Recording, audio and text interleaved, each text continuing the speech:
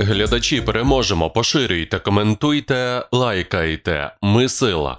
Існує ряд непрямих ознак, ймовірне перекидання ракет типу кинжал на територію РБ, масоване використання гераней, в тому числі для тестування роботи нашої ППО, російські вкиди, чергова пробуксовка на фронті та політична доцільність, політика постійного терору цивільного населення та пошкодження, критичної цивільної інфраструктури з метою схиляння нас до поступок чи перемовин, які свідчать про підготовку до наступного масованого ракетного удару найближчим часом. Пише телеграм-канал Оперативний Інформ. Найімовірніше, виходячи з попередньої практики, удар буде комбінований з застосуванням БПЛА камікадзе та різних типів ракет з різних носіїв, в тому числі з моря та з території РБ. Очевидно, що противник оголосить першочерговою ціллю цього удару знищення шляхів постачання західного озброєння, але в цілому удар носитиме комплексний різноплановий характер. Ймовірно, зараз остаточно узгоджується короткий список найбільш пріоритетних цілей. Орієнтовна дата удару 19-22 жовтня, виходячи з попередньої практики і можливої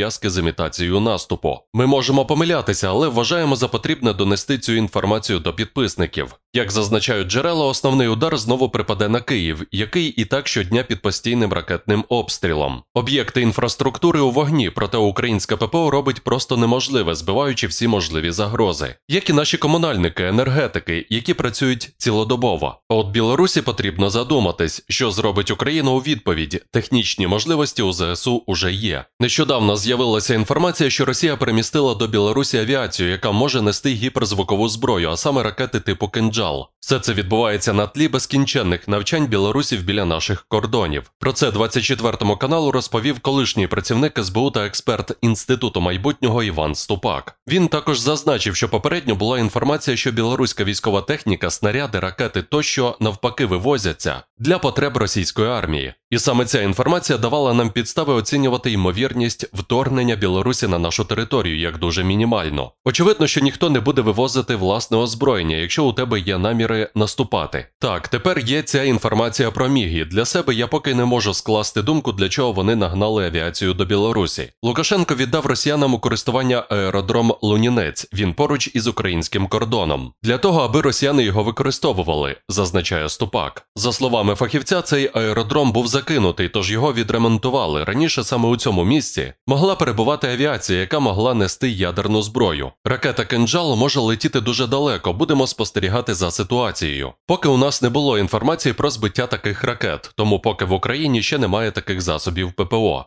До зустрічі, глядачі, переможемо. Поширюйте, коментуйте, лайкайте. Ми сила.